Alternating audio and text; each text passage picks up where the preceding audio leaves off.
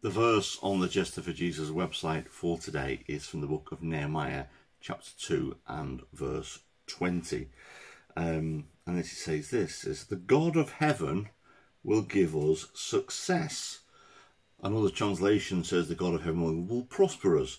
This is um, Nehemiah. Nehemiah was sent the task of rebuilding the gates and the walls around Jerusalem following the exile. And people were obviously going to him and going, oh, can't do this, oh, can't do that.